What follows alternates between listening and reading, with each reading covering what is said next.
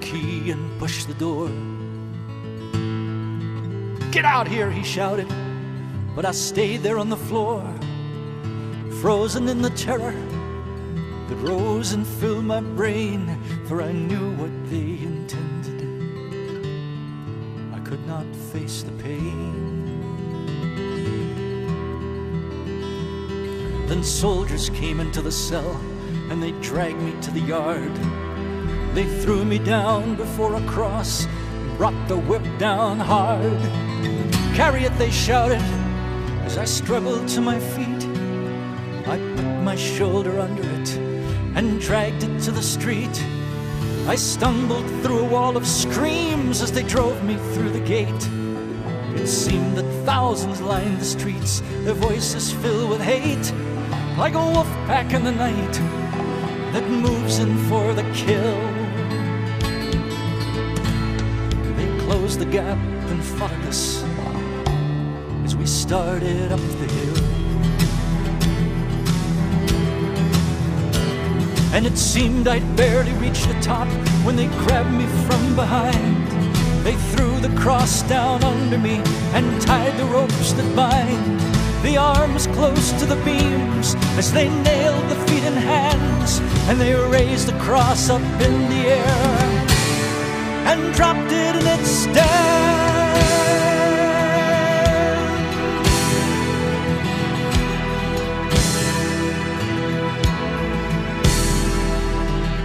Through a blur of pain, I saw the cross there next to mine. There were people all around it, so I looked to read the sign. It was nailed there up above his head, so the world could see the news that the man who seemed so helpless there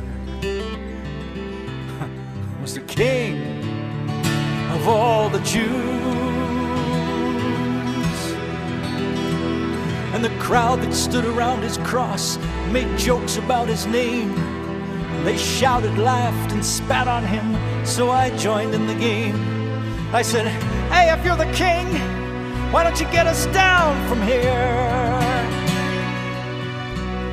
But the taunt just sounded hollow. It echoed in my ears. Cause he looked at me with eyes that seemed to reach into my heart. They shone a light on all my lies and tore my life apart. There was more that lay behind that gaze than simply blood and clay. But knowing was too much for me. I had to look away. But I chanced another look at him while he was looking down where the soldiers who just crucified us drank there on the ground. And although he spoke them quietly, somehow his words came through. He said, Father, please forgive them. They don't know what they do.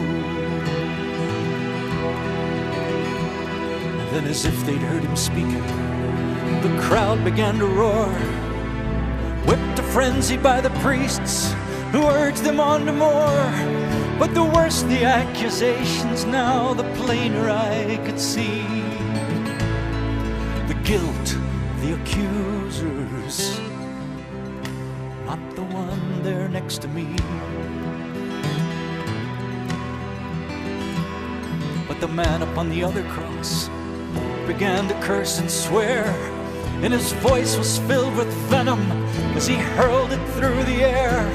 All the horror that was in him and had laid his life to waste came out in every syllable he flung in Jesus' face, and Jesus only looked at him. But something rose inside of me in spite of all that watched us there.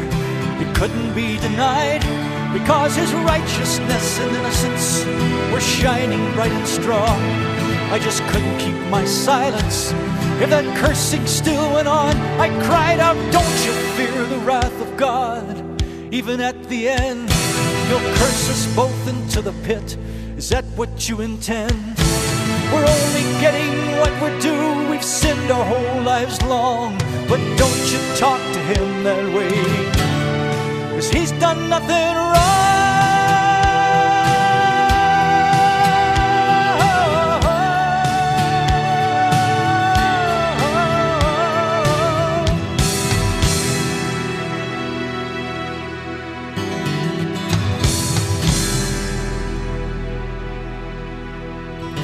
Then, with all my courage, in a voice not quite my own, I asked him, Lord, remember me when you come into your throne.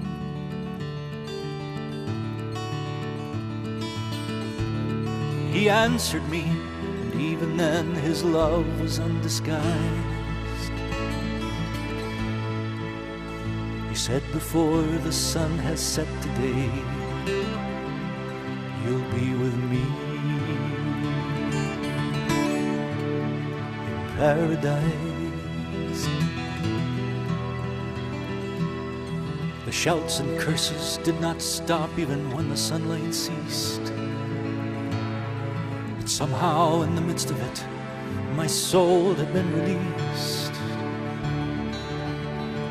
And though the agony continued, it was still too small a price to be allowed to hear those words and to die beside the Christ.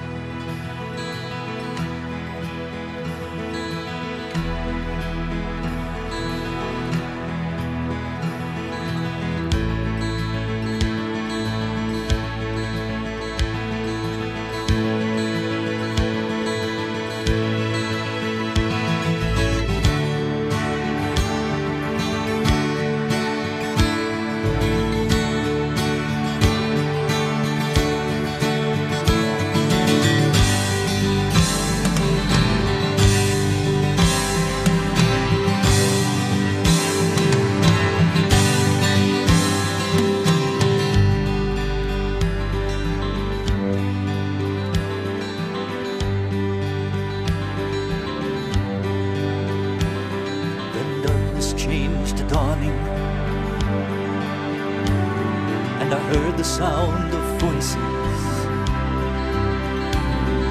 The air was warm around me.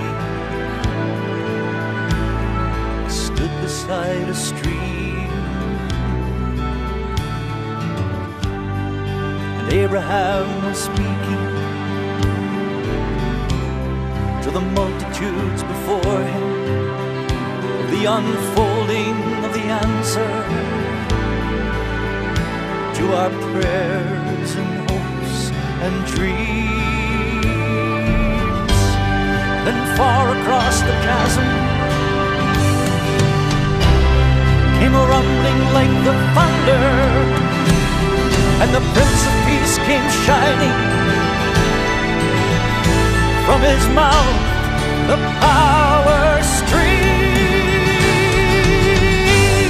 and the walls and towers crumbled, and the gates of hell went under as thousands sang.